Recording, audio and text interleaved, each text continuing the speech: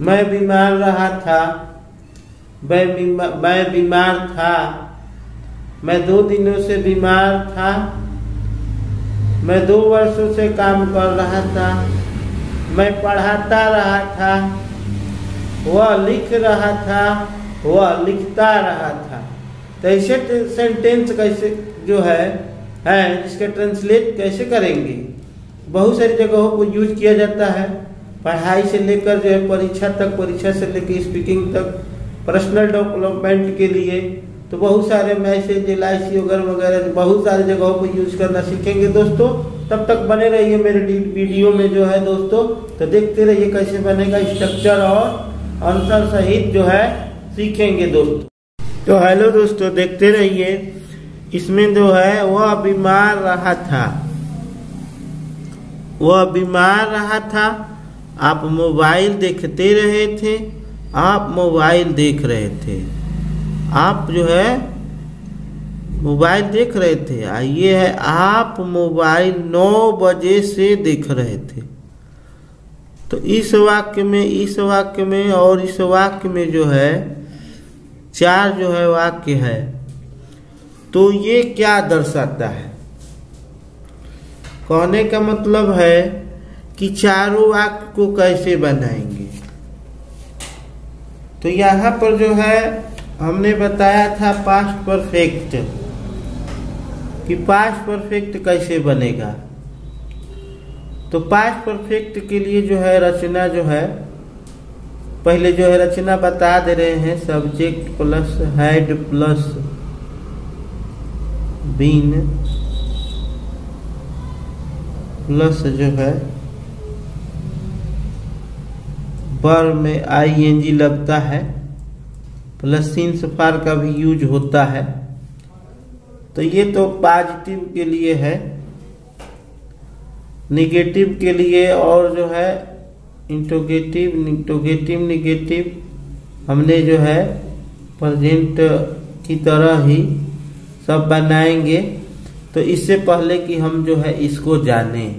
वह बीमार रहा था। तो वह बीमार रहा था।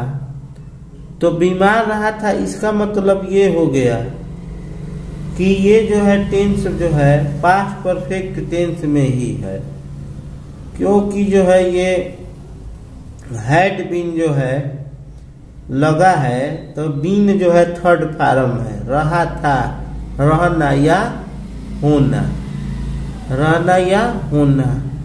तो यहाँ पर बन जाएगा ही हैड बीमार रहा था यानी यहाँ बिन लग जाएगा होना या रहना का। यहाँ रहा था रही से ये मत समझ लेना कि जो है कंटिन्यूस है। इसमें जो है बर में आई एन जी जो है, नहीं है तो ये जो है प्रेजेंट पार्टिसिपल बीमार रहने की स्थिति जो है भूतकाल, यानी पास्ट में जो है, कुछ समय तक जो है कंटिन्यू जो है लगा रहा है, ठीक है, जारी है। तो ये कहने का मतलब जो है पास्ट परफेक्ट कंटिन्यूस की क्रिया का बोध कराना है तो जो है, हम जो है लगाएँगे ये वाला रचना। ठीक है दोस्तों? तो बीमार, इसका ये हो गया। फिर से इसको समझते हैं। ही हैड बीन इल इसका मतलब ये हो गया कि वह बीमार रहा था। ठीक? अब यहाँ देखेंगे, देखते रहे थे। अब देखिए, ते रहे थे। टाइम रहेगा और रहा था, रही थी, बताए थे। इसकी जो है पहचान पास्ट जो है पास्ट परफेक्ट कंटिन्यूअस की पहचान। वीडियो में पीछे बताए थे, पर पास्ट परफेक्ट कंटिन्यूअस का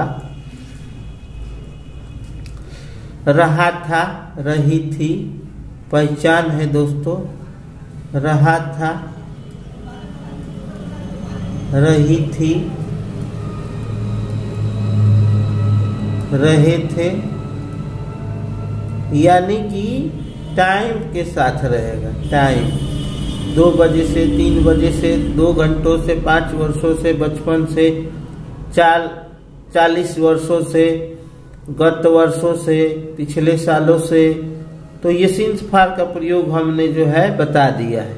तो चलिए हमारा ये जो है हेड नाट बीन ये सब जो है, पिछली रचना की तरह जो है बना सकते हैं। स्ट्रक्चर है, इसको रचना कहा जाता है। पास्ट परफेक्ट कंटिन्यूस का। हेड जो है, आगे आ जाएगा तो जो है हेड के बाद जो है, ये सब्जेक्ट हो जाएगा, उसके बाद जो है नाट लगा देंगे, उसके बाद बीन लगा देंगे, उसके बाद बर में आइए। ये तो क्या वाला हो जाता है? फिर इसी तरह इसमें से नाट हटा देते हैं। तो हम ये हेडेंट भी लिख सकते हैं सब्जेक्ट के बाद नाट न लगा के। हेड नाट भी यहाँ हो सकता है, अगर एक साथ लिखना चाहेंगे। तो ये विदाउट नाट वाला जो है हमारा, ये बन जाएगा। ये बताने की कोशिश कर रहा हूँ दोस्तों की क्योंकि हम यहाँ पर बनाने वाले हैं तो कैसे बनेगा? तो चलिए यहाँ पर फिर जो है क्वेश्चन वर्ड क्वेश्चन वर्ड क्यों, कैसे, कब, जितना भी वीडियो में देखे हैं तो ये जो है क्वेश्चन वर्ड क्या है? वाट वेन ये सब तीसरा का मतलब ये तीसरी रचना सब जोड़ देंगे। फिर क्वेश्चन वर्ड और जो है प्लस चौथा। तो इस प्रकार छ जो है, रचना हो जाती है। तो चलिए यहाँ पर बनाते हैं। तो यहाँ पर बनाएँगे दोस्तों तो हमारा हो जाएगा। आप देखते रहे। थे आप बोले हैं, तार हाथा भी होता है। तार हाथा ती रही थी। तो ये भी जो है कंटिन्यूस में ही परफेक्ट में बनता है। तो चलिए यहाँ पर बनाते हैं हम। परफेक्ट कंटिन्यूस का जो है रचना के आधार पर जो है हम सीखेंगे। तो यहाँ पर देखेंगे दोस्तों आप तो ये हो जाएगा यू उसके बाद हैड सभी जो है सब्जेक्ट के साथ हैड लगता है। यू हैड बीन क्या कर रहे थे? मोबाइल देखते रहे थे। तो वाचिंग वाचिंग मोबाइल उसके बाद यहाँ पर देखेंगे आप मोबाइल देख रहे थे। तो आप मोबाइल देख रहे थे, ये पास्ट कंटिन्यूस हो गया। पीछे जो है, पहचानने का तरीका जो है, सीख लेना चाहिए दोस्तों। तो इसका बनेगा यू वर्क उसके बाद देख रहे थे वाचिंग वाचिंग मोबाइल यहाँ पर ये सब लेने का मतलब है कि सब चीज़ थोड़ी थोड़ी लग रहा है कि एक जैसे बनेगा। थोड़ा थोड़ा अंतर है समझने की कोशिश करें। यहाँ पर क्यों जो है लगा है पास्ट परफेक्ट कंटिन्यूस में? तार हाथा ते रहे थे, ये सब भी रहता है। तार हाथा ते रहे थे, ये भी सब होता है। तो यहाँ पर जो है, यहाँ पर इसीलिए ये वाला दूसरा जो है वाक्य हमारा बना है। पहला ये है और दूसरा हमारा ये है, तीसरा। चौथा यहाँ पर देखेंगे दोस्तों, यहाँ पर टाइम दे दिया है। सीन्स फार का प्रयोग, जैसे कि प्रेजेंट में पढ़ लिए हैं। तो यहाँ पर हो जाएगा यू हैड बीन उसके बाद जो है हमारा हो जाएगा वाचिंग मोबाइल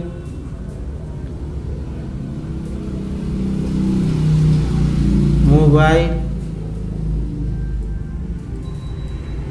उसके बाद टाइम है, कोई वजह से नौ बजे से। तो यहाँ पर जो है हमारा सीन से लग जाएगा। तो नाइन ओ कलाक ठीक है दोस्तों तो इस प्रकार जो है हमने इन चारों चीज़ों को सीखा। बीमार रहा था तो पाँच परफेक्ट में बना देंगे। दिखता रहा था, लिखता रहा था, सो रहा था। तो ये जो है, ता रहा था, ती रहा था, ते रहे थे तो पास्ट परफेक्ट कंटिन्यूस से बनाएँगे।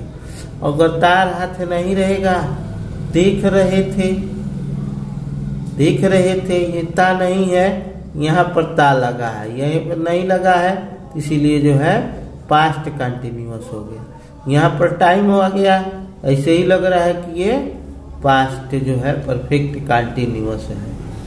तो इस प्रकार दोस्तों हम सीख लिए कि जो है, कैसे जो है पहचानेंगे। जब पहचानेंगे तो सीखेंगे। तो और भी क्या, क्यों, कैसे वाला भी जानना होगा तो इसी तरह जो है हम बना सकते हैं। इसमें जो है कोई बात नहीं। एक दो ऐसे भी आता है, वह दो वर्षों से बीमार से पीड़ित था। वह या कोई भी, चलिए कोई और ले लेते हैं। यहाँ पर सब्जेक्ट बदल देते हैं। राजू। यहाँ पर दो वर्षों से तो ऐसे ही बनता है। राजू, दो वर्षों से बुखार से पीड़ित था। तो यहाँ पर जो है सफरिंग फ्राम होता है। बुखार से पीड़ित था। पीड़ित का मतलब हो गया, दुखी था, बीमारी थी उसको, पीड़ित था। तो यहाँ पर जो है समझना है तो इसी तरह बनाएँगे, लिख देंगे Raju, had, been, suffering from.